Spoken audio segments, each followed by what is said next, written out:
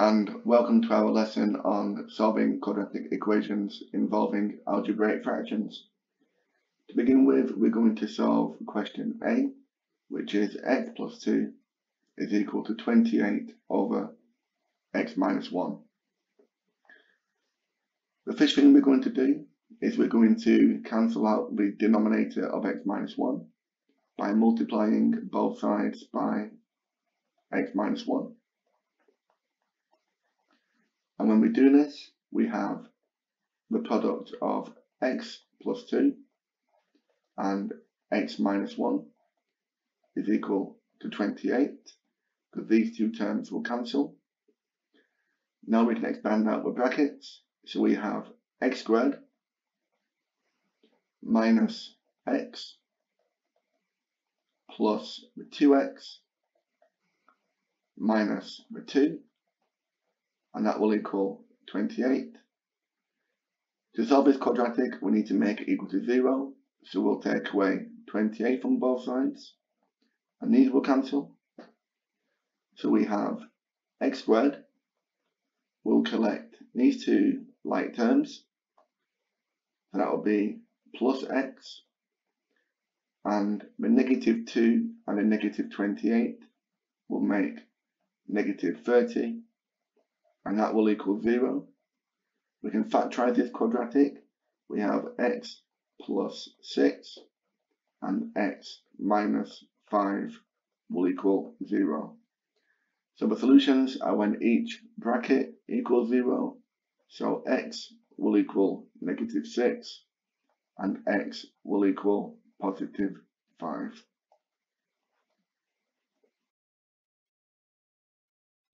You want to try question B? By pausing the video and you can resume it when you're ready. Okay, to begin with, we're going to multiply both sides of the equation by x minus 3 because these will cancel. So we'll do that to the other side as well. So we have the product of 2x plus 1 and x minus 3 and that will equal 1. I'm going to expand out these brackets.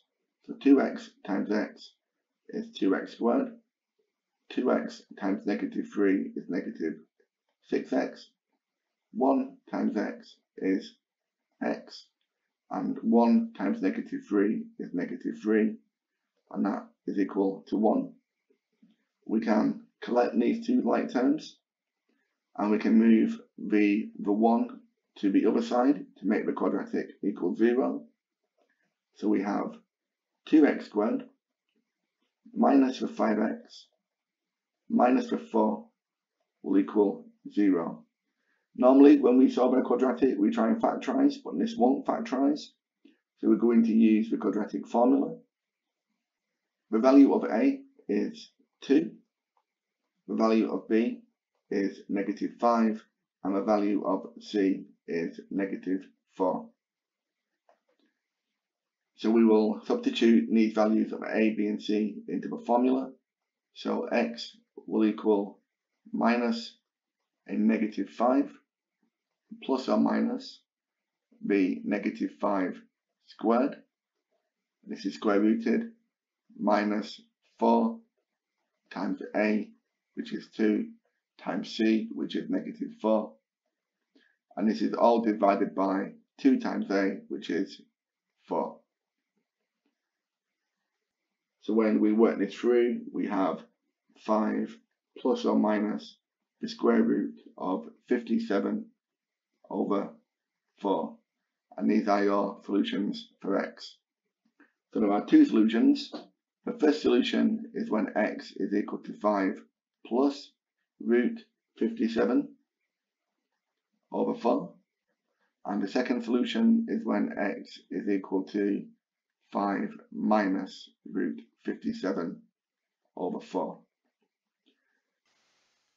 So do you want to try question C by pausing the video and you can resume it when you're ready. So to begin with for question C, we're going to write both fractions with a common denominator by multiplying this fraction by x minus 2 and this fraction by x plus 5. So we have 4 lots of x minus 2 over the product of x plus 5 and x minus 2 minus 3 lots of x plus 5 over the same denominator and that is equal to 3. So now I can write over one denominator which is going to be x squared plus 3x minus 10 and I can expand out the numerators which is 4x minus 8 and negative 3 times x is negative 3x and negative 3 times 5 is negative 15 and that again is equal to 3. So I can simplify this by collecting the 4x and the negative 3x which is x and the negative 8 take away the 15 is minus 23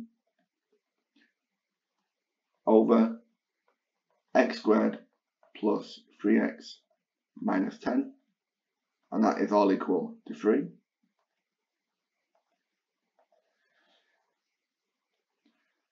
So now I'm going to multiply both sides by the denominator. So I have x minus 23 is equal to 3 lots of x squared plus 3x minus 10. So x minus 23 is equal to 3x squared. I'm multiplying out these two terms, these three terms here, plus 9x minus 30. To make the quadratic equal 0, I will take away the x and add 23 to both sides. This will cancel and this will cancel. So I'm left with 0 is equal to 3x squared plus the 8x minus the 7. Again, using the quadratic formula, we can see the value of a is equal to 3, the value of b is equal to 8, and the value of c is equal to negative 7. I can substitute these values into the formula, and I am left with x is equal to negative 4 plus or minus the square root of 37 over 3. So there are two solutions. The first solution is when x is equal to negative 4 plus root 37 over 3 and that is approximately negative 3.36 to three significant figures. And the other solution is when x is equal to negative 4 minus root 37 over 3 and that is when x is approximately 0.694 again to three significant figures. Okay, for question D, do you want to try this question yourself by pausing the video and you can resume it when you're ready. Okay, so the first thing I'm going to do is write them both with a common denominator by multiplying this fraction by 3x minus 1 and this fraction by 2x minus 1.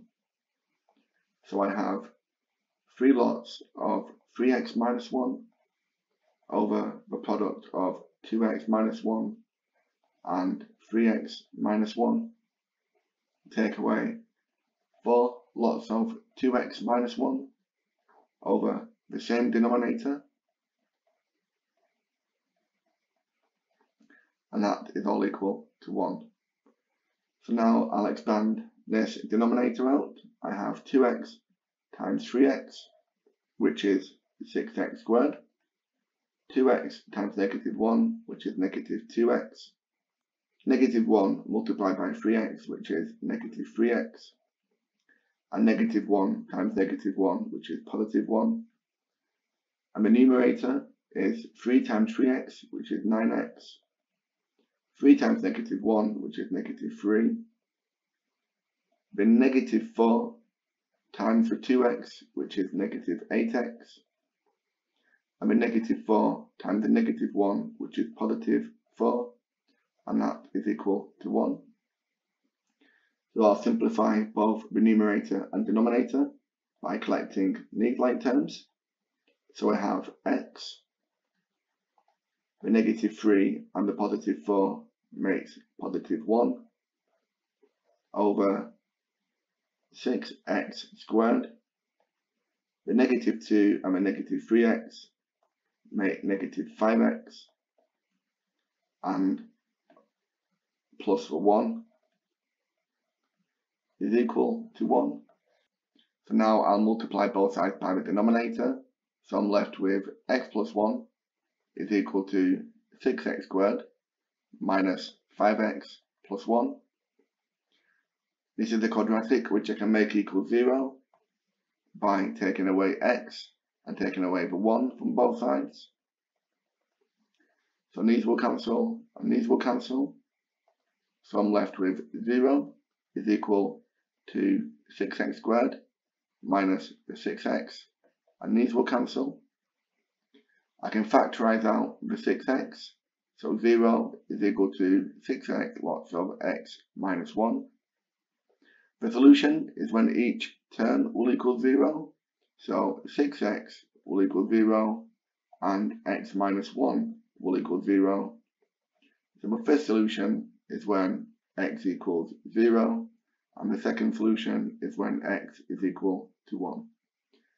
Thank you very much for watching. I hope you found that useful. Thanks again and take care.